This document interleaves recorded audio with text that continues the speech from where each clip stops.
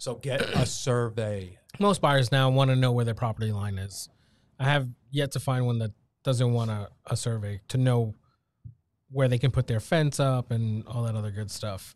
So other than this, so what happened in the case that there is no survey?